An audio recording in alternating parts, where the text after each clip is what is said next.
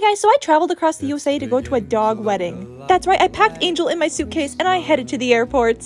Because Angel had a huge event to attend. It was a process flying with the dog, but we ended up making it. We had a pretty mean flight attendant our first flight who made Angel stay completely inside